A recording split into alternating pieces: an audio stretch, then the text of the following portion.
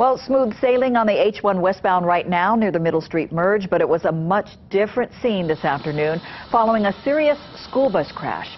Emergency medical responders were called out about noon today. 45 people were on board the bus following a field trip to the state capitol, when they say a woman driving a Jeep slammed into the bus. Apparently, a tractor trailer blew a tire. The driver of the Jeep had to swerve, and when she swerved, she collided into the side of the school bus.